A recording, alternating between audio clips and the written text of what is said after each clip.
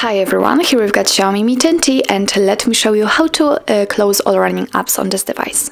So actually it depends if you've got a navigation bar just like me with the buttons or if you've got the gestures. If you've got the gestures then all you have to do in order to open the recents is to swipe your finger up very gently and hold it right here and uh, here uh, you will see all previously opened apps.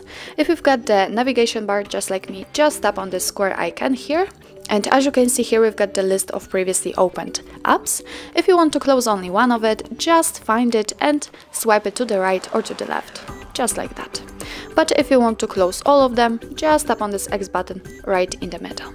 As you can see, we just got back to our homepage, so let's enter the recents again.